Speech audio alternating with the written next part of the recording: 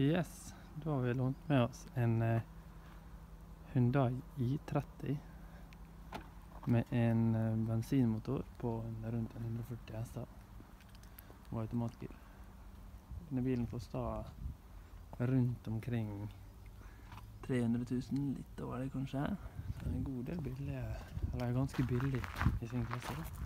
En av de rimeligste. Dette er jo golfklassen, kompakt stasjonsvogn. Ser ganske bra ut. Bagasjerommet. Det er ganske stort. Jeg tror du får plass til de fleste barnevognene inni her. Bagasjeromsmatte.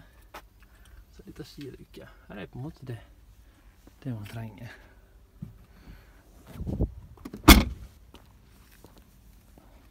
Baksetepanne. Dette er jo en kompakt stasjonsvogn. Så bakseteplassen nå er jo min posisjon er jo nesten 1,90, så da blir det litt lite plass til eh, meg bak meg sjøl, på en måte. Men det går greit. Er fint kjøre til Oslo sånn som dette, selv om jeg sitter med beina litt fremme i sånn. Her um, Det er et pent interiør på Hyundai. De uh, Jeg syns de treffer på mye. Kvalitetsfølelsen er bra. Du kjenner det på bryter og og på interiørvalg og litt sånn. Det er liksom ikke sånn skranglete plastikk, da, som det ofte kan være med, med asiatiske biler. da. Eh, denne infotainment-skjermen der, den er veldig god. Skal jeg vise om et øyeblikk.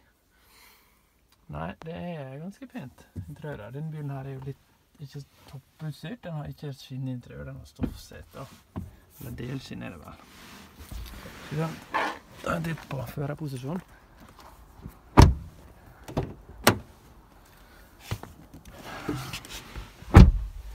Ja.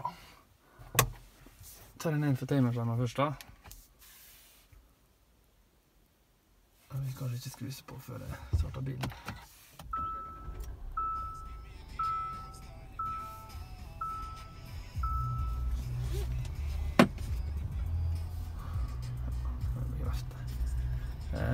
Eh, nei, denne touchskjermen, den, er, den syns jeg er god.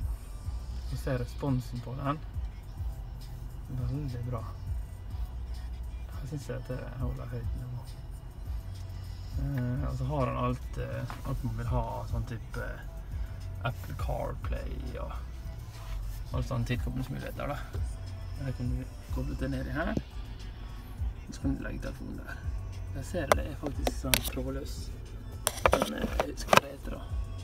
Da. Og lade som ladeplate her nå. Det er ikke verst. Eh, varme rattet. Og selvfølgelig varme i setet foran. Denne bilen er automatgir, og jeg syns den er ganske sprek. Motoren på 140 i bensinhester. Koppholdet er dimensjonert i to forskjellige størrelser. Det syns jeg var veldig fint, for jeg har en stor og en liten kopp. Så det var helt perfekt. Nei, det er en bra bil. Det er rimelig penger. Mye bil for pengene får du med Hyundai i30. Så kan du utstyre den mye mer enn dette her, og med skinninteriør og sånn blir det enda tøffere. Men uh, dette her er en bil de fleste ville ha likt seg veldig godt. Litt kult uh, interiørlys i blått har de gått for en god stund. Jeg vet godt på videoene. Men det er alle knapper lys på en måte blått inni her, da. Det er bra. Bra bil.